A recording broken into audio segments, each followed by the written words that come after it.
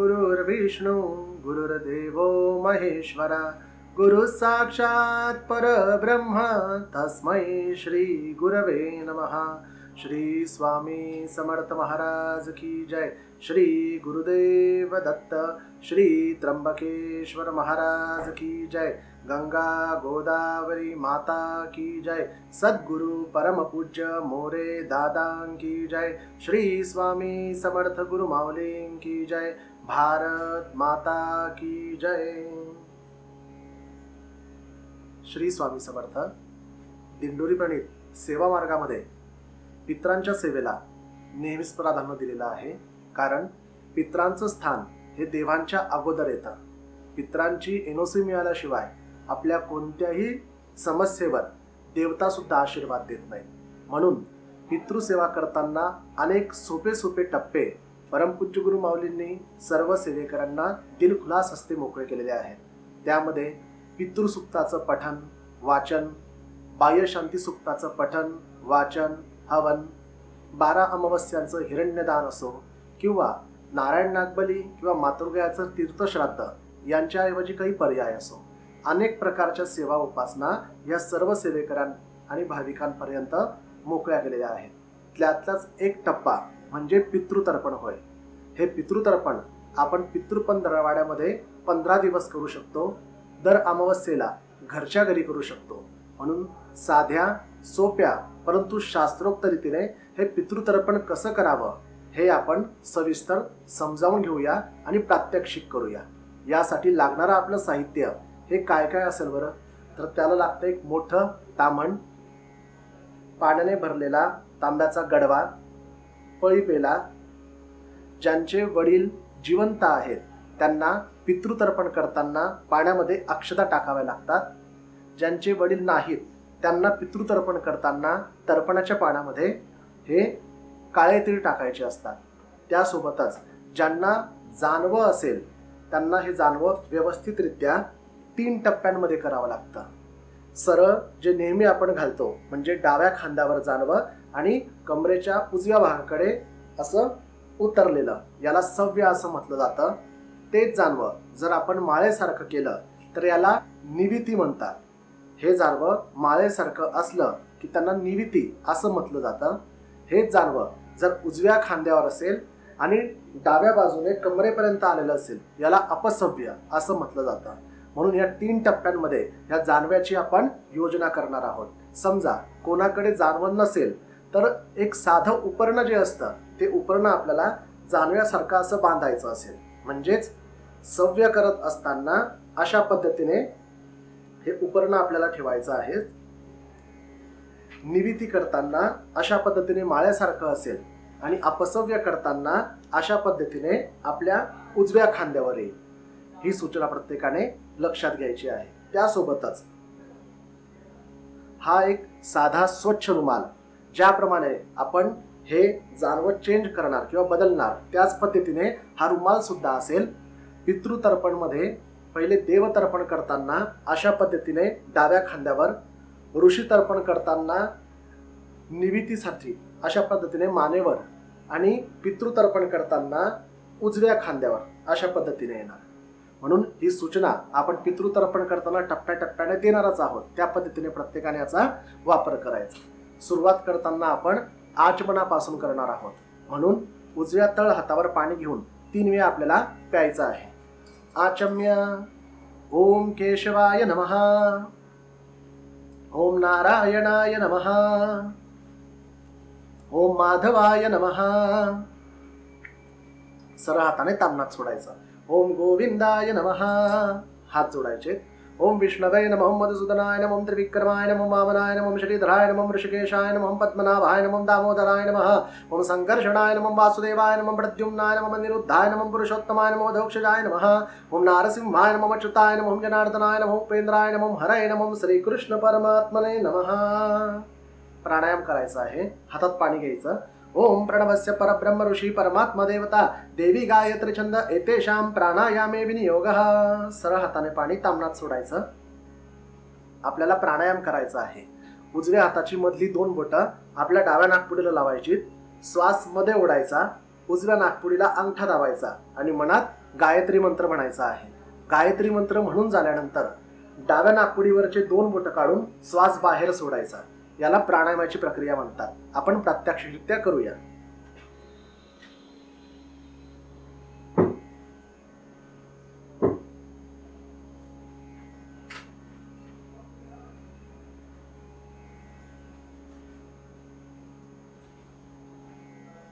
उजव्या हाताच्या पाचही बोटांनी प्रथम उजवा कान त्यानंतर डावा कान नंतर तोंडाला हात लावायचा. ओम आपत ज्योतिरसमृतम ब्रह्मा भूर्भुवस्वरम सुरुवात करूया देवतर्पणापासून. देवता तर्पण करताना आपण पूर्वाभिमुख बसलेलो आहोत. आपलं जानवं हे सव्य आहे. सव्य म्हणजेच आपल्या डाव्या खांद्यावर आहे. जो रुमाल स्वच्छ घेतलेला आहे आपण तो डाव्या खांद्यावर अशा पद्धतीने आपल्याला टाकायचा आहे.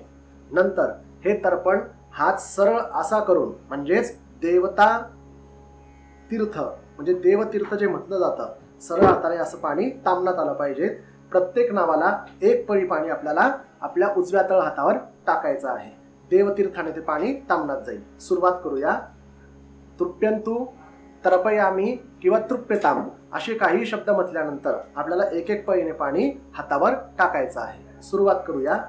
ओम प्रजापती स्तृप्यतू ब्रह्मा तृप्यतु देवास्तृप्यंतू ऋषयस्तृप्यन्तु। सर्वाणि छन्दांसि तृप्यन्तु। ओङ्कारस्तृप्यतु वषट्कारस्तृप्यतु। व्यावृतयस्तृप्यन्तु। सावित्री तृप्यतु यज्ञास्तृप्यन्तु। द्यावा पृथ्वी तृप्यताम् अन्तरिक्षतृप्यतु। अहोरात्राणि तृप्यन्तु। साङ्ख्यास्तृप्यन्तु ಸಿದ್ಧಾಸ್ತೃಪ್ಯಂತು, ಸಮುದ್ರಾಸ್ತೃಪ್ಯಂತು, ನದ್ಯಸ್ತೃಪ್ಯಂತು, ಗಿರಯಸ್ತೃಪ್ಯಂತು, ಕ್ಷೇತ್ರೌಷಧಿ ವನಸ್ಪತಿ ಗಂಧರ್ವಾಪ್ಸರಸ್ಯ ಸ್ತೃಪ್ಯಂತು ನಾಗಾಸ್ತೃಪ್ಯಂತು, ವಯಾಂಸಿ ತೃಪ್ಯಂತು ಗಾವಸ್ತೃಪ್ಯಂತು ಸಾಧ್ಯಾಸ್ತೃಪ್ಯಂತು, ವಿಪ್ರಾಸ್ತೃಪ್ಯಂತು, ಯಕ್ಷಾಸ್ತೃಪ್ಯಂತು रक्षांसि तृप्यन्तु भूतानि तृप्यन्तु एवमंतानी तृप्यन्तु। इथे देवता तर्पण संपन्न होतं. पुढचा टप्पा आपण घेणार याला म्हणतात ऋषी तर्पण ऋषी तर्पण करताना आपलं जानवं हे निविती करायचं असतं म्हणजे माळेसारखं असं खाली सोडायचं. हा जो रुमाल आहे हा खांद्यावर अशा पद्धतीने ठेवायचा. ठेवल्यानंतर हे तर्पण करताना आपल्याला ऋषी तीर्थाने करायचं असतं. ऋषी तीर्थ म्हणजे आपल्या उजव्या हाताच्या करंगईचा हा जो भाग आहे पूर्ण याला ऋषीतीर्थ म्हटलं जातं. हा हात अशा पद्धतीने आपल्याला तामणाच्या वर ठेवायचा असतो. प्रत्येक मंत्राला दोन पळी पाणी तर्पणाच्या उद्देशाने हातावर सोडायचं असतं आपल्याला. चला मग ऋषी तर्पणाला सुरुवात करू. ओम शतर्चीन स्तृप्यंतु माध्यमास्तृप्यन्तु।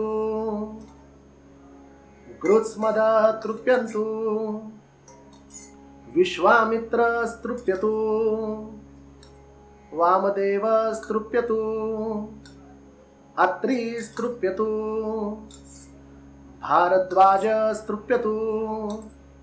वसिष्ठस्तृप्यतु प्रगाथास्तृप्यन्तु। पावमन्यस्तृप्यन्तु। क्षुद्रसुप्तास्तृप्यन्तु महासुप्तास्तृप्यन्तु इथे आपलं ऋषी तर्पण संपन्न होतं. आता येत आहे आचार्य तर्पण आचार्य तर्पण करताना आपलं जानवं अपसव्य आपल्याला करायचं आहे. अपसव्य म्हणजे जानवं उजव्या खांद्यावर येणार.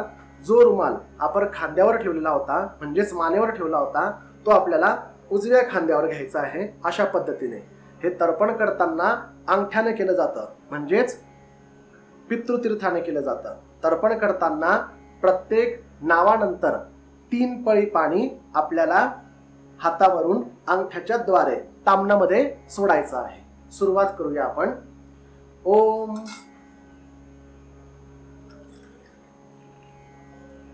सुमंतु जयमिनी वैशंपायन पैल सूत्र भाष्य भारत महाभारत धर्माचार्य स्तृप्यंतु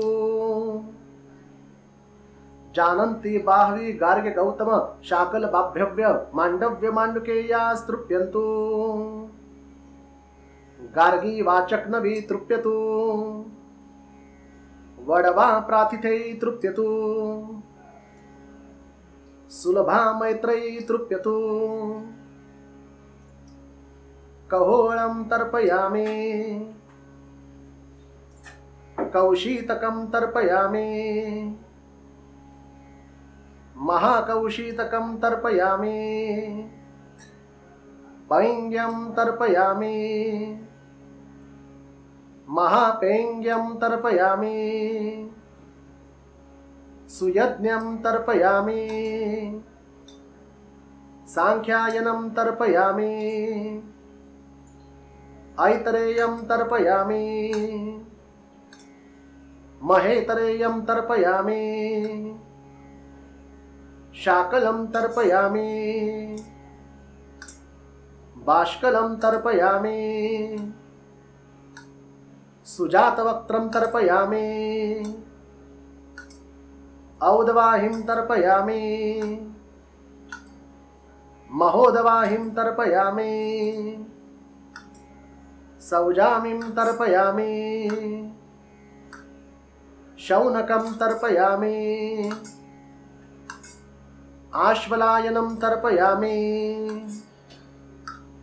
ये चान्ये आचार्यास्ते सर्वे तृप्यंतु इथे आपलं आचार्य तर्पण संपन्न झालं. आता आपण मुख्य पितृतर्पणाला सुरुवात करणार आहोत.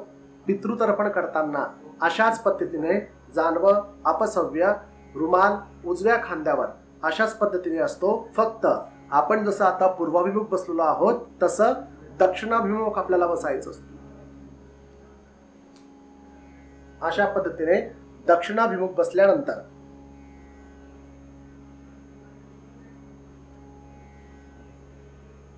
मुख्य पितृतर्पण आपण करणार आहोत. त्यामध्ये काही महत्त्वाच्या सूचना आपल्याला द्यावायच्या आहेत. त्यामध्ये जर आपले वडील जिवंत असतील तर पाण्यामध्ये अक्षता टाकून आपल्याला तर्पण करायचं असतं. वडील जिवंत नसतील तर पाण्यामध्ये काळं तीळ टाकून आपण तर्पण करू शकतो. तर्पण करताना ज्या नातेवाईकांचे नाव आपल्याला आठवतात त्यांचे नाव आणि त्यांचे गोत्र हे व्यवस्थित आपल्याला तर्पणामध्ये वापरायचे असतात. समजा एखाद्या कोणत्याही नात्याचं किंवा नातलगाचं आपल्याला नाव आठवलं नाही ते जर पुरुष असतील तर त्यांच्या ठिकाणी ब्रह्मा विष्णू महेश असं म्हणावं. त्या जर महिला असतील तर त्यांच्या जागी गंगा यमुना सरस्वती आपण म्हणू शकतो. काहींचं गोत्र नाही आठवलं तर आपण काश्यप या गोत्राने त्यांचं तर्पण पूर्ण करू शकतो. परंतु प्रत्येकाचे गोत्र आणि नावं हे असणं आवश्यक आहे. म्हणून त्या पितृतर्पणाला सुरुवात करताना आपल्याला दक्षिणेकडे तोंड करून बसायचं आहे. जानवं अपसव्य म्हणजे उजव्या खांद्यावर असं. त्यासोबत रुमाल सुद्धा उजव्या खांद्यावर असावा. तर्पण करताना प्रत्येक नावाला तीन वेळा तर्पण अंगठ्याने द्यायचं आहे. सुरुवात करूया. पितृतर्पण करत असताना सर्वप्रथम ज्यांचे वडील गेले आहेत त्यांनी माझ्या मागे तर्पणाचे मंत्र म्हणत जेव्हा मी तर्पयामी असा शब्द म्हणेल त्यावेळेस तीन पळी पाणी हे अंगठ्याच्या साह्याने तांबणात सोडायचं आहे. ज्यांचे वडील गेले असतील त्यांनी प्रथम तर्पण करायचं आहे. म्हणायचं अस्मत. पितरम. त्यांचं नाव घ्यायचं. नामने. गोत्राचा उच्चार करा आपल्या. म्हणायचं गोत्रम. वसुरूपम. स्वधा. नम. स्तर्पयामी. तीन पै पाणी तामनामध्ये सोडायचं आहे. आता ज्यांचे आजोबा गेले असतील त्यांनी म्हणायचं अस्मत. पितामहम. त्यांचं नाव घ्यायचं. म्हणायचं नाम ने गोत्राचा उच्चार करायचा. म्हणायचं गोत्रम. म्हणायचं रुद्ररूपम. स्वधा नम स्तर्पयामी. तीन वेळा तर्पण द्यायचं. आता ज्यांचे पंजोबा गेले असतील त्यांनी म्हणायचं अस्मत प्रपितामहम. त्यांचं नाव घ्या. म्हणायचं नामने गोत्राचा उच्चार करायचा. म्हणायचं गोत्रम आदित्य रूपम स्वधा नम तर्पयामी. तीन वेळा तर्पण द्यायचं आहे. ज्यांच्या आई गेल्या असतील त्यांनी तर्पण द्यायचं. म्हणायचं अस्मन मातरम. त्यांचं नाव घ्यायचं. म्हणायचं नाम निम. गोत्राचा उच्चार करा. म्हणायचं गोत्राम वसुरूपाम स्वधा नम तर्पयामी. तीन वेळा तर्पण द्यायचं. ज्यांच्या आजी गेल्या असतील आजी म्हणजे वडिलांच्या आई. म्हणायचं अस्मत पितामहिम. नाव त्यांचं. म्हणायचं नामनी गोत्राचा उच्चार करा. म्हणायचं गोत्राम रुद्र रूपाम स्वधा नम तर्पयामी. आता आपल्या ज्या पणजी गेल्या असतील म्हणजेच आपल्या आ- आपल्या वडिलांच्या आजी. आपल्या ज्या पणजी गेल्या असतील त्यांच्या नावे. म्हणायचं अस्मत प्रपिता महिम नाव घ्या त्यांचं. म्हणायचं नाम निम. गोत्राचा उच्चार करा. म्हणायचं गोत्राम. आदित्य रूपाम स्वधा नम स्तर्पयामी तर्पण द्यायचं. ज्यांच्या सावत्र आई गेल्या असतील त्यांनी म्हणायचं अस्मत सापत्न मातरम. त्यांचं नाव घ्यायचं. म्हणायचं नाम निम. गोत्राचा उच्चार करा. म्हणायचं गोत्राम.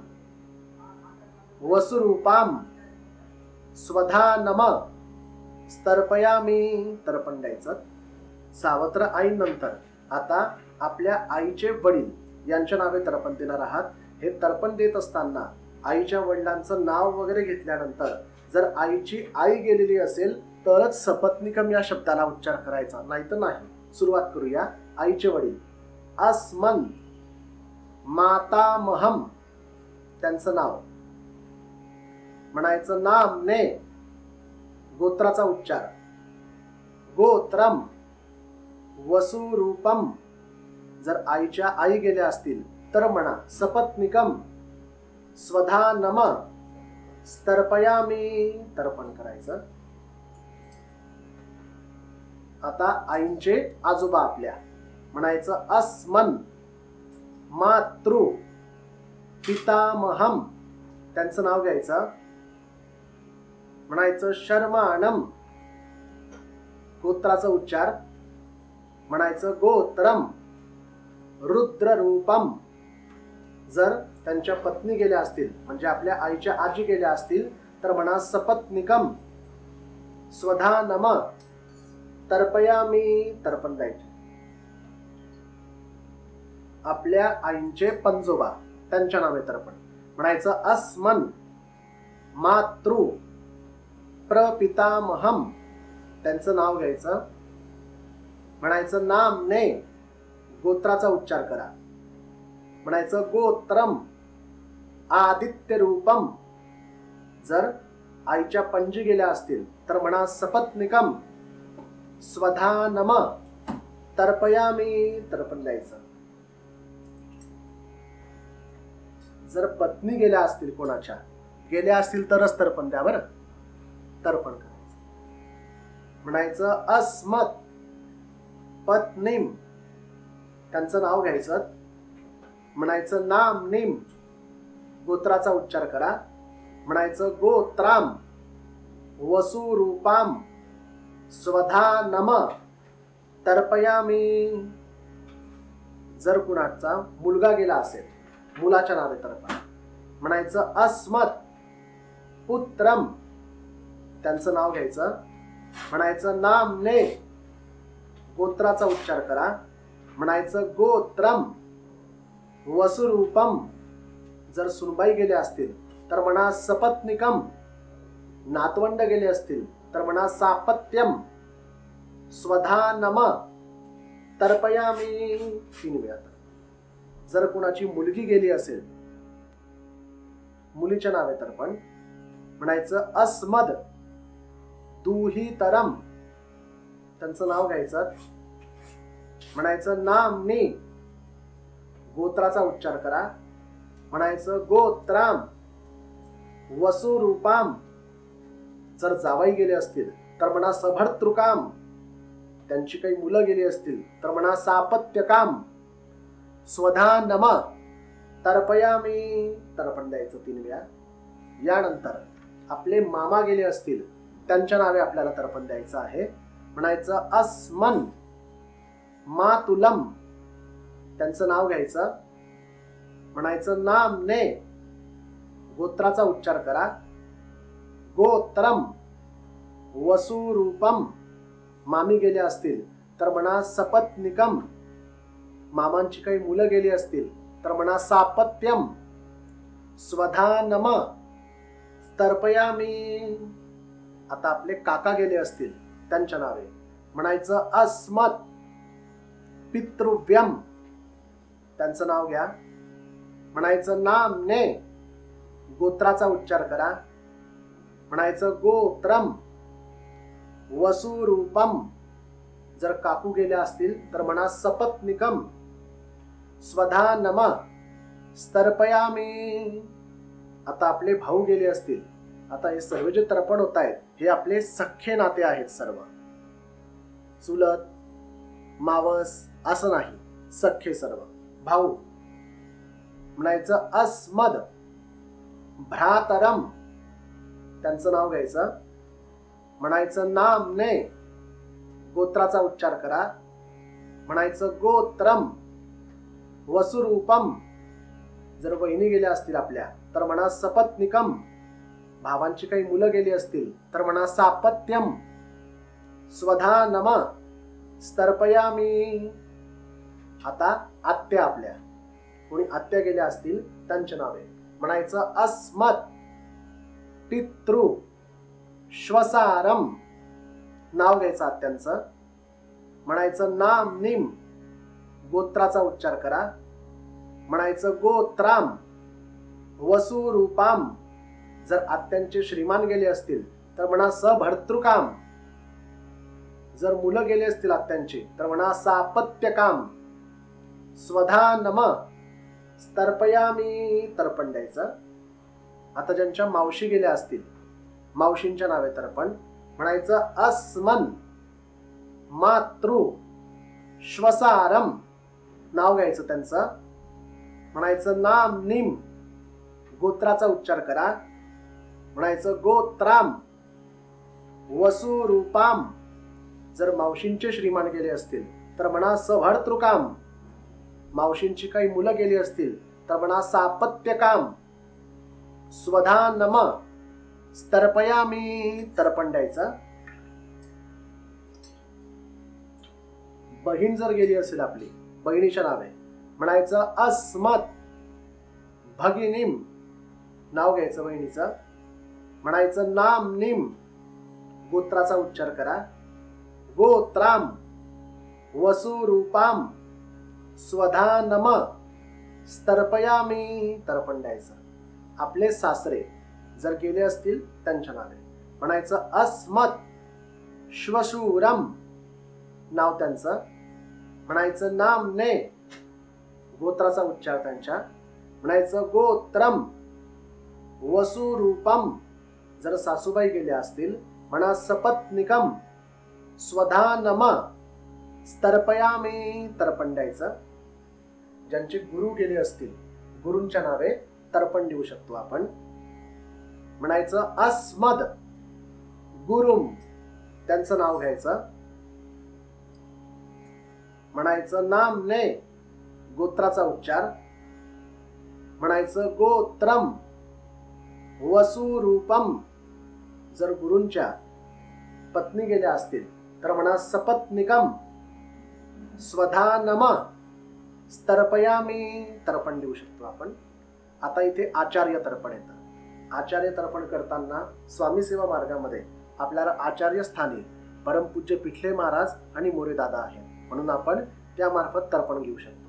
म्हणायचं अस्मद आचार्यम भारद्वाज गोत्रम श्री नारायणदास श्रीपाद श्री वल्लभ पिठले शर्माणम वसुरूपम स्वधानम स्तर्पयामी. तर्पण द्यायचं मुरीदादांच्या नावे तर्पण देऊया. म्हणाय अस्मद आचार्यम श्री खंडेराय शर्माणम भारद्वाज गोत्रम वसुरूपम सपत्निकम स्वधानम स्तर्पयामी. आता आपल्याला शिष्यांच्या नावे तर्पण द्यायचं आहे ज्याला कोणत्याही प्रभागामध्ये कोणत्याही विभागामध्ये किंवा येन तेन प्रकारे कोणत्याही पद्धतीने आपण काही शिकवलेलं असेल अशांना सुद्धा आपल्याला तर्पण द्यायचं आहे. साधारणतः तर्पण करत असताना ज्यांची ज्यांची नावं आपल्याला अचानक आठवतात ते सर्व व्यक्ती आपल्याकडनं तर्पणाची अपेक्षा करत असतात. म्हणून आता सद्य परिस्थितीला शिष्यवत तुम्ही ज्यांच्यावर प्रेम केलं असेल काही शिकवलं असेल अशा कोणाचं नाव जर आठवत असेल त्यांच्या नावे आपल्याला तर्पण दिले द्यायचं आहे. ते गेलेले असावेत फक्त. शिष्यांच्या नावे म्हणायचं अस्मत शिष्यम. त्यांचं नाव घ्यायचं म्हणायचं नाम ने गोत्राचा उच्चार करायचा. म्हणायचं गोत्रम. वसुरूपम. ते सपत्निक गेले असतील. तर म्हणा सपत्निकम. त्या स्त्री असून जर त्यांचे श्रीमान पण गेले असतील तर म्हणा सभरतारकम. मुलंही त्यांची गेली असतील तर म्हणा सापत्यम. स्वधानम. तर्पयामी. तर्पण द्यायचं आहे. आता मित्रांच्या नावे. ज्यांनी मित्र म्हणून जरी राहून भावांसारखं किंवा अनेक नात्यांनी आपल्या सर्वांना मदत केलेली असेल असे काही जीवाभावाचे आपले मित्र असतील त्यांच्या नावे आपल्याला तर्पण द्यायचं आहे. म्हणायचं अस्मन मित्रम. त्यांचं नाव घ्यायचं. म्हणायचं नाम ने. गोत्राचा उच्चार करायचा त्यांच्या. म्हणायचं गोत्रम. वसुरूपम. जर त्यांच्या पत्नी गेल्या असतील तर म्हणा सपत्निकम. जर त्या महिला असून त्यांचे श्रीमान गेले असतील तर म्हणा सभरतारकम. त्यांची मुलं गेली असतील काही तर म्हणा सापत्यम.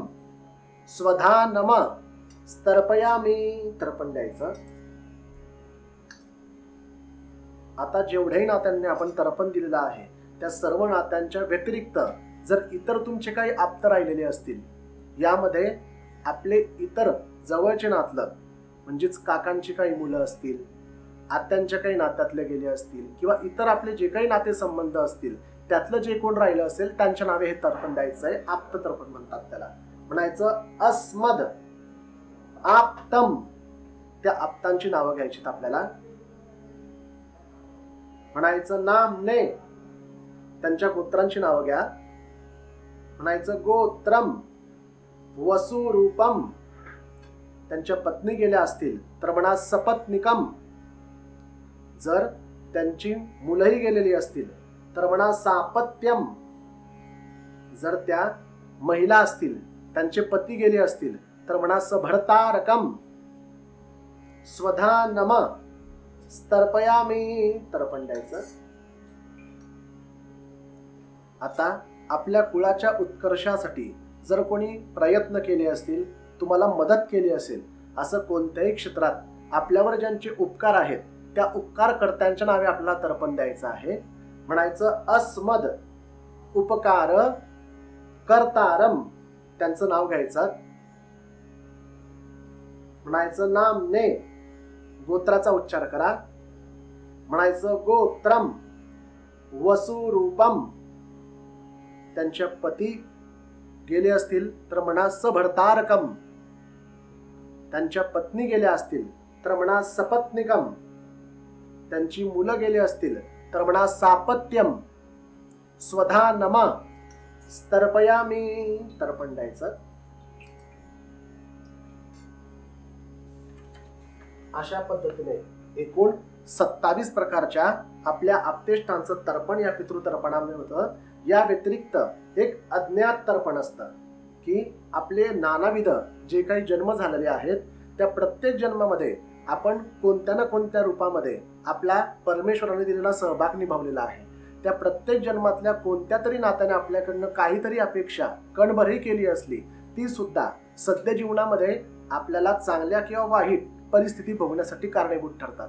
म्हणूनच अशा अज्ञात तर्पणांमध्ये या सर्व नातलगांच्या किंवा आमच्या बुद्धीच्या पलीकडे जे कोणी अज्ञात आमच्याकडनं या तर्पणाची अपेक्षा करत असतील त्यांच्या तृप्तीसाठी हे अज्ञात तर्पण आपण करणार आहोत. त्यासाठी पैपेला हातामध्ये घ्यायचा आणि दोन श्लोक होईपर्यंत अखंड पाण्याची धार अंगठ्यातून तामनामध्ये सोडायची असते. ओम आ ब्रह्म स्तंभ पर्यंतम देवर्षी पितृमानवः तृप्यन्तु पितरः सर्वे. मातृमाता महादयः. अतीतकुलकोटीनां सप्तद्वीपनिवासिनाम्. आ ब्रह्मभुवनाल्लोक दीदमस्तु तिलोदकम्. आता यामध्ये एक वस्त्र निष्पीडनाचा कार्यक्रम होतो. म्हणजेच ज्या कोणाला या तर्पणामध्ये तामणामध्ये जे तर्पण करतो ते घेण्याचा अधिकार नसेल. मग त्यामध्ये जे वेगळ्या गोत्राचे असतात जे निघून गेलेले असतात किंवा ज्यांचा अंत झालाय का नाही झाला या आपण विवंचनेत असतो की ते जिवंत आहेत की नाही हे सुद्धा आपल्याला माहिती नसतं. अशांसाठी एक वस्त्रनिष्पीडित तर्पणामध्ये एक भाग असतो. त्यामध्ये आपण हा जो उजव्या खांद्यावर रुमाल ठेवलेला आहे त्या रुमालाची दोन्ही टोकाशी वर करायची त्यांची छोटी पुरचंडी अशी बनवायची असते. ती बनवून आपल्याला तर्पण केलेल्या पाण्यामध्ये बुडवायची आणि दक्षिण दिशेला समोर जमिनीवर पिळायची असते. त्याला वस्त्र निष्पीड म्हटलं जातं. त्याला सुरुवात करू. ओम येके चास्मत्कुले जाता अपुत्रा गोत्रिणो मृतः ते गृह्णन्तु मया दत्तं वस्त्र निष्पीडनोदकम्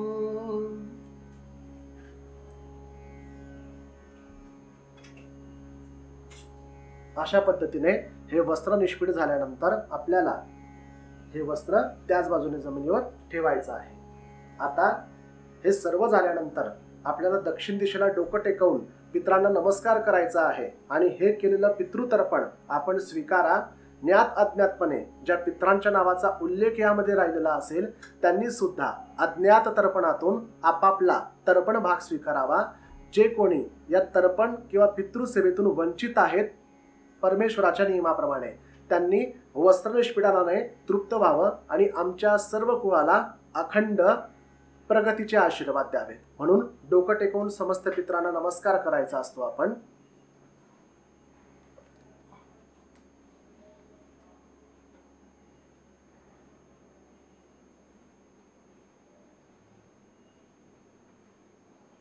जानवं सव्य करून परत पूर्वाभिमुख बसावं.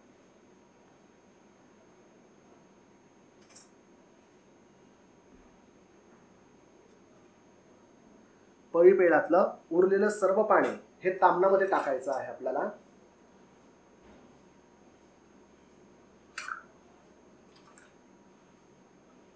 थोडं नवीन पाणी पेल्यामध्ये घ्यावं. पितृदर्पणाची शेवट करताना आपण द्विराचम्य करणार आहोत म्हणजे दोन वेळा आचमन करून या तर्पणाची सांगता करणार आहोत.